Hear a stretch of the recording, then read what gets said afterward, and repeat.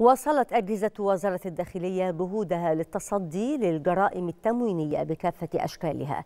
وتمكنت الإدارة العامة لشرطة التموين والتجارة بالتنسيق مع فروعها الجغرافية بمديريات الأمن وقطاع الأمن العام من ضبط العديد من قضايا غش السلع وحجبها عن التداول وبيع سلع منتهية الصلاحية.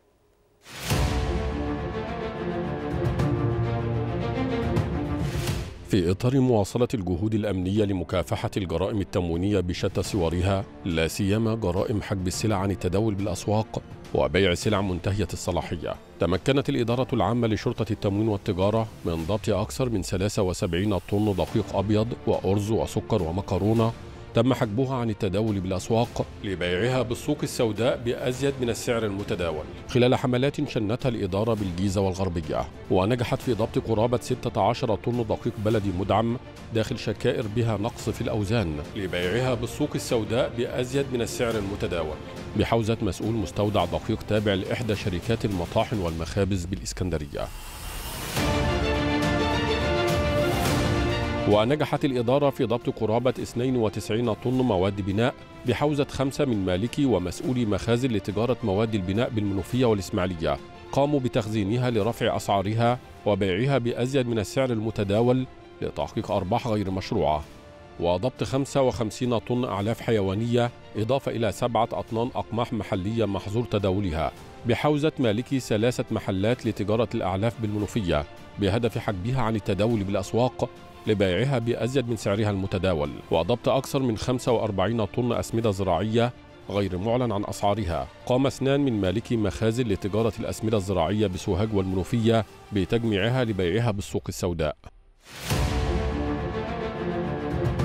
وعلى صعيد ضبط سلع منتهية الصلاحية نجحت الإدارة في ضبط قرابة 335 طن مخلل وملح طعام غير صالحة للاستهلاك الآدمي بثلاثة مصانع لإنتاج وتعبئة المخللات بالمنوفية وبني سويف قبل أن يتمكن المسؤولون عن تلك المصانع من طرحها بالأسواق. وهو ما يشكل خطرا على صحة وسلامة المواطنين.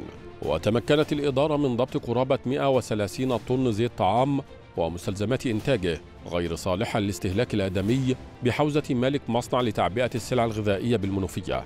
وضبط قرابة 97 طن لحوم ودواجن ومقطعاتها ومصنعاتها غير صالحة للاستهلاك الآدمي خلال حملات شنتها الإدارة بالجيزة والمنوفية والإسماعيلية والشرقية. كما نجحت الإدارة في ضبط 98 طن أعلاف حيوانية غير صالحة للاستخدام وتمثل خطرا على الثروة الحيوانية بحوزة قائد سيارة بالفيوم وملك مصنع أعلاف حيوانية بالإسماعيلية.